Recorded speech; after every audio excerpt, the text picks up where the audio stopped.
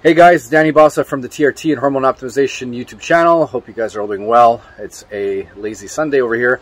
Um, wanted to do a really super short video uh, in response to a lot of messages I get uh, in regards to patients informing me that their physicians only measure total testosterone and do not measure SHBG, which is sex hormone binding globulin, uh, in order to calculate free testosterone levels.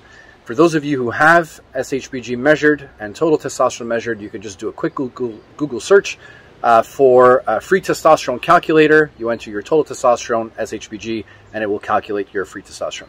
By the way, calculating free testosterone via uh, a calculator will provide you a much more reliable indication of your free testosterone versus using the direct free testosterone labs that a lot of you get. So, uh, for those of you who have physicians that are only measuring total, uh, send this video to them. So, physician, you cannot dial in a guy with total testosterone only. It's it's impossible. I know you think you can, you can't. I'm going to give you a perfect example. We're going to take two guys. Both of them are same height, same weight, same level of fitness, same age, and they both have a total testosterone level of 1,000 nanograms per deciliter. You would assume right off the bat that they probably both feel pretty similar, and that assumption could not be further from the truth. Why? Well, let's say one of the guys has a sex hormone binding globulin of 8 nmol, and the second guy has an SHBG of 80.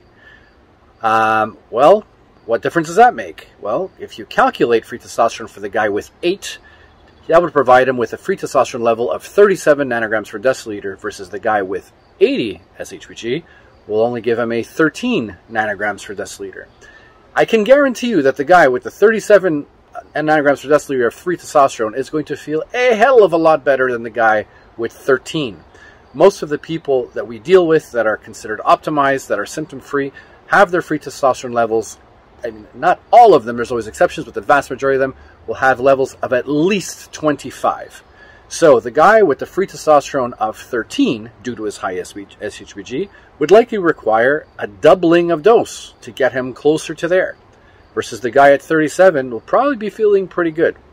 Now, when I say, say pretty good, that will also det be determinant on ideal frequency of injection. A guy with a low SHBG will not do well on weekly shots. So if you are only measuring total testosterone and giving everyone your cookie cutter protocol of whatever weekly amount, once weekly injections, I am sorry that will not work for a guy with low SHBG. Low SHBG guys are going to hypermetabolize their testosterone, meaning they're going to excrete it much, much faster than a guy with higher levels of SHBG, demonstrating that they will require more frequent injections. Okay? So, at the bare minimum, you should not have anybody doing less than twice weekly injections. Once weekly injections is not recommended. Twice this should be considered the bare minimum. It's the gold standard in order to keep serum levels stable with a low SHBG guy with an SHBG of 8 twice a week will likely not work. Okay? He will have to do every other day, potentially even daily injections. Now, you might think that's a big pain in the ass. I do daily injections myself. I have low SHBG. I load up seven syringes on the first day of the week and they pop them in my drawer. Every morning I just pull one out, give myself my quick shot, and I'm done. It's really no big deal. If I want to feel better, I got to do it the right way. Higher SHBG, SHBG guys, can oftentimes just get away with twice weekly and they're just fine. Okay? You cannot dial a guy in by total alone. Now, if you don't want to take this advice, that's fantastic. Please measure the SHBG anyway, so that when the patient does come to us saying that they don't feel well, at least we can provide them some kind of recommendation because now at least we'll have an indication of their SHBG, we'll have an indication of ideal frequency of injection, and we'll know what their free testosterone is versus just knowing total. If somebody sends me their labs and I say I only have total, what do I do?